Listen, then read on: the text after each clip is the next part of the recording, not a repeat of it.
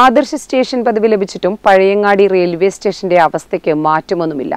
മഴക്കാലമായതോടെ കാത്തിരിപ്പ് കേന്ദ്രങ്ങൾ ചോർന്നൊലിക്കുന്നത് കാരണം പ്ലാറ്റ്ഫോമിന് ഉള്ളിലും കുടചൂടി നടക്കേണ്ട അവസ്ഥയാണ്.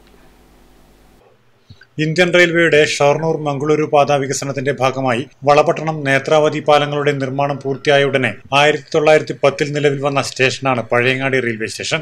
രണ്ടായിരത്തിനു മുകളിൽ യാത്രക്കാരാണ് ദിനംപ്രതി ഇവിടെ നിന്നും യാത്ര നടത്തുന്നത് ഒരു ലക്ഷത്തിലധികം രൂപ പ്രതിദിന വരുമാനവുമുണ്ട്. സമീപകാലത്തായി പ്ലാറ്റ്ഫോം നവീകരണത്തിന്റെ ഭാഗമായി ചില അറ്റകുറ്റപ്പണികൾ നടത്തിയെങ്കിലും അതൊന്നും തന്നെ വികസനത്തിന്റെ പാതയിലെത്തിയില്ല. പല ദീർഘദൂര വണ്ടിക്കും ഇവിടെ സ്റ്റോപ്പില്ല. മംഗളൂർ ചെന്നൈ വെസ്റ്റ് കോസ്റ്റിന് സ്റ്റോപ്പ് അനുവദിക്കുമെന്ന് റെയിൽവേ അധികൃതർ ഉറപ്പു നൽകിയെങ്കിലും മൂന്ന് പതിറ്റാണ്ട് പിന്നിട്ടിട്ടും പാളത്തിന് പുറത്തു തന്നെ. പ്ലാറ്റ്ഫോം ആകെ ചോർന്നൊലിക്കുന്ന അവസ്ഥയാണ്. ഇടയ്ക്കിടെ ഷെൽട്ടറില്ലാത്തത് കാരണം ജനങ്ങൾ പ്ലാറ്റ്ഫോമിനുള്ളിലും കുടചൂടി നടക്കേണ്ട അവസ്ഥയാണ്. പ്ലാറ്റ്ഫോമിന്റെ ഇരുവശത്തും കാടുമൂടിയ അവസ്ഥയാണ്. തെരുവു നായ്ക്കൾ പാമ്പ് എന്നിവയും ഭീതി പടർത്തുന്നുണ്ട്. സ്റ്റേഷൻ വന്നിട്ട് നൂറ്റാണ്ട് കഴിഞ്ഞിട്ടും ഒരു ടിക്കറ്റ് കൗണ്ടർ മാത്രമാണ് ഇവിടെയുള്ളത്. തിരക്കേറിയ സമയത്ത് ടിക്കറ്റിനായി ക്യൂ നിന്ന് ടിക്കറ്റ് ലഭിക്കാതെ യാത്ര മുടങ്ങുന്നവരും ഏറെയാണ്.